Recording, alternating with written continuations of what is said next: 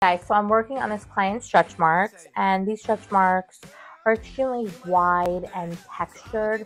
As you can see, her skin color is about a Fitzpatrick 3-4. She's tan, and her stretch marks are pretty much almost close to her color, with a slight hue of white and a little bit of pink. The reason why I chose the inkless camouflage is because of that. She doesn't have an extreme contrast between her skin color and the stretch marks.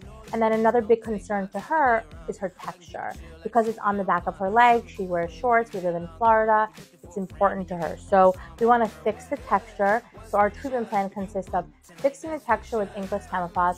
And then if we need to do camouflage and color in the stretch marks, we can do that in another session.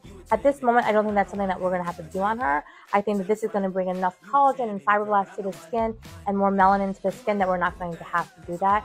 And the inkless camouflage will be it. So one to four sessions should be completed, 45 days apart, and we can't wait to show you guys.